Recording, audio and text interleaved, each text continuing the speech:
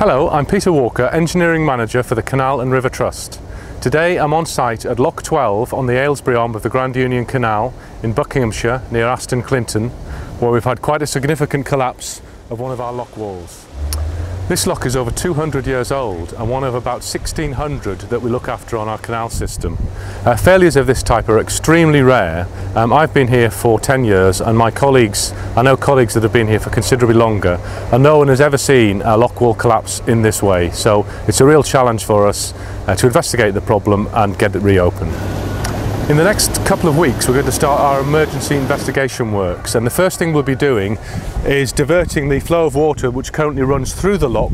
The upper gates are designed to act as a weir and we're going to send the water around the far side of the lock so that we can keep the lower end of the, uh, the Aylesbury arm and the basin area topped up with water.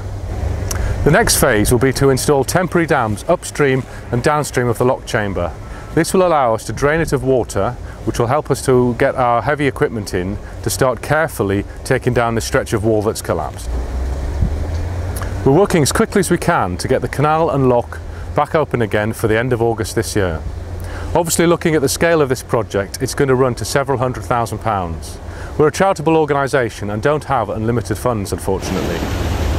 If anyone would like to donate any money towards the cost of repairing this lock and the other work that the Canal and River Trust does, we'd be very grateful and you can find further details of how to do this on our website at www.canalrivertrust.org.uk. Thank you.